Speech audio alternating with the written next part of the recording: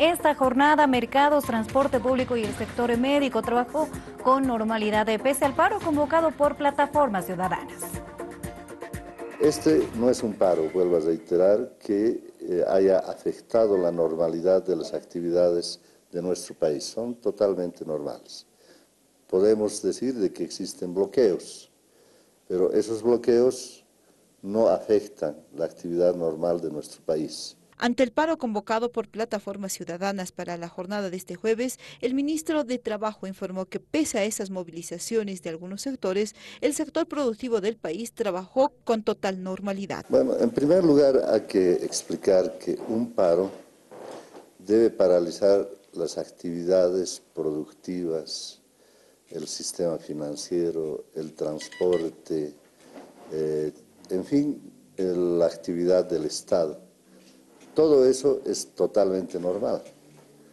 En nuestro país no existe un paro, excepto en las alcaldías y en la gobernación de Santa Cruz y Tarija, cuyos funcionarios han sido obligados a tener que participar de una actividad política de la oposición ante las denuncias realizadas por funcionarios del municipio de La Paz y Cochabamba, quienes fueron obligados a bloquear las calles, calificó esa accionar de ilegal, ya que esas medidas perjudican a la atención del sistema municipal para la población. Involucran a sus trabajadores en su posición política, obligándoles a asumir un acto que, del cual ellos no están convencidos. Es totalmente ilegal, ilegítimo y, por supuesto, es una democracia de coerción, de presión contra los trabajadores. El ministro de Trabajo además manifestó que durante la jornada, además se observó que en la mayoría de los puntos de bloqueo solo existían entre 10 y 15 personas quienes fueron convocadas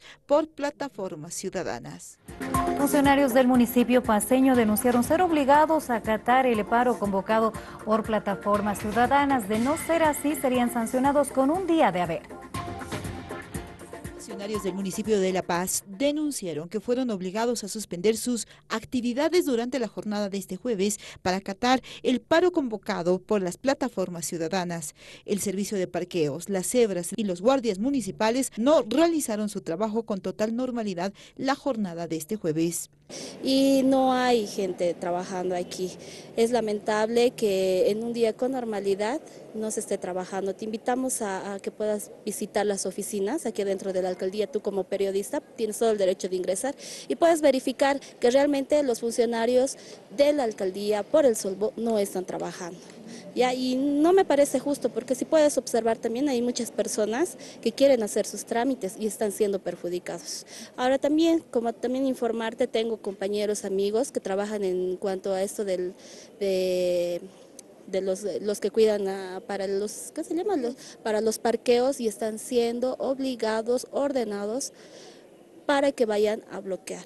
De la misma manera, las cebras. Puedes ir y verificar, tal vez ir a, ver, ¿no? A donde se centralizan las oficinas de las cebras y vas a ver que no están trabajando. El concejal del Movimiento al Socialismo, Jorge Silva, además informó que el alcalde Luis Revilla en La Paz amenazó a sus funcionarios a acatar dichas movilizaciones. Caso contrario, serían sancionados con un día de haber. Y reitero, este es un paro político financiado por las autoridades que están ejerciendo cargos eh, públicos, como es el alcalde de La Paz, la alcaldesa del Alto, eh, la alcaldía de Cochabamba, la gobernación y la alcaldía en Santa Cruz, donde existe una institución pública, están obligando a los funcionarios a salir a bloquear y en el caso de La Paz están obligando a los dirigentes vecinales, a quienes les han obligado a salir a bloquear a cambio de sus POAs vecinales, es decir, son chantajeados, son manipulados los dirigentes vecinales porque de por juego está su POA vecinal. Los sectores como las cebras, funcionarios municipales como Parqueos, Pumacatari y otros dependientes del municipio paseño fueron convocados a las 6 de la mañana para iniciar los bloqueos con cintas, cordones y basureros municipales.